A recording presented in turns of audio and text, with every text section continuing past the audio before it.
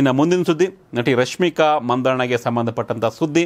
ರಶ್ಮಿಕಾ ಮಂದಣ್ಣ ಅವರು ಸಾಕಷ್ಟು ಸಿನಿಮಾದಲ್ಲಿ ತುಂಬ ಬ್ಯುಸಿಯಾಗಿದ್ದಾರೆ ಇತ್ತೀಚೆಗಷ್ಟೇ ಅವರ ಮ್ಯಾನೇಜರ್ ವಿಚಾರವಾಗಿ ಸಾಕಷ್ಟು ಕಿರಿಕ್ಕಾಗಿ ವಿವಾದಾತ್ಮಕ ಸುದ್ದಿಯಾಗಿತ್ತು. ಇದೀಗ ಮತ್ತೆ ಸುದ್ದಿ ಆಗ್ತಾರೆ ಪುಷ್ಪ ಸಿನಿಮಾದಲ್ಲಿ, ತೆಲುಗು ಮತ್ತು ಪ್ಯಾನ್ ಇಂಡಿಯಾ ಸಿನಿಮಾ ಪುಷ್ಪದಲ್ಲಿ ಹೀರೋಯಿನ್ ಆಗಿರ್ತಕ್ಕಂಥ ರಶ್ಮಿಕಾ ಮಂದಣ್ಣ ಈಗ Pushpa part two the rule ಸಿನಿಮಾದ ಶೂಟಿಂಗ್ನಲ್ಲಿ ಭಾಗಿ ಆಗಿದ್ದಾರೆ. ಈ ಬಗ್ಗೆ ತಮ್ಮ ಇನ್ಸ್ಟಾಗ್ರಾಮ್ ಖಾತೆಯಲ್ಲಿ ಕೆಲವೊಂದಿಷ್ಟು ಸೆಟ್ನ ಚಿತ್ರವನ್ನು, ತುಣುಕೊಂದನ್ನು ಹಂಚ್ಕೊಂಡಿದ್ದಾರೆ. ರಶ್ಮಿಕಾ ಮಂದನ ಸಿನಿಮಾವನ್ನು ಸುಕುಮಾರ್ ಡೈರೆಕ್ಟ್ ಮಾಡ್ತಿದ್ದಾರೆ ಎರಡು ಸಾವಿರದ ಇಪ್ಪತ್ತೊಂದರ ಡಿಸೆಂಬರ್ ಹದಿನೇಳನೇ ತಾರೀಕು ಮೊದಲನೇ ಪಾರ್ಟ್ ರಿಲೀಸ್ ಆಗಿತ್ತು. ಅಲ್ಲು ಅರ್ಜುನ್ ಹೀರೋ ಆಗಿದ್ದರು ಸಾಕಷ್ಟು ಪಾಸಿಟಿವ್ ರೆಸ್ಪಾನ್ಸ್ ಬಂದಿದೆ ಸಿನಿಮಾಗೆ. ತುಂಬ ಸೂಪರ್ ಹಿಟ್ ಡೂಪರ್ ಹಿಟ್ ಆಗಿತ್ತು. ನಟ ಫಹದ್ ಫಾಸಿಲ್ ಕೂಡ ಈ ಸಿನಿಮಾದಲ್ಲಿ ಪೊಲೀಸ್ ಆಫೀಸರ್ ಆಗಿ ಆ್ಯಕ್ಟ್ ಮಾಡಿದ್ದಾರೆ.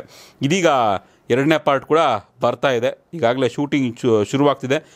ಸೀಕ್ವೆಲ್ ಅದು ಪುಷ್ಪ, ದಿ ರೂಲ್ ಎರಡನೇ ಪಾರ್ಟ್ ಬರ್ತಾ ಇದೆ. ಅಲ್ಲು ಅರ್ಜುನ್ ಹುಟ್ಟುಹಬ್ಬದ ಸಂದರ್ಭದಲ್ಲಿ ಪುಷ್ಪ ಟೂ ಸಿನಿಮಾದ ತಂಡದ ಕುತೂಹಲಕಾರಿ ಫಸ್ಟ್ ಲುಕ್ಸನ್ನು ಅನಾವರಣ ಕೂಡ ಮಾಡಿತ್ತು ಈಗ ಈ ಸಿನಿಮಾದಲ್ಲಿ ಇರ್ತಾರ ಇರಲ್ವಾ, ರಶ್ಮಿಕಾ ಮಂದಣ್ಣ ಔಟ್ ಅಂತೆ, ಇರಲ್ವಂತೆ, ಇವೆಲ್ಲವೂ ಚರ್ಚೆ ಆಗಿತ್ತು.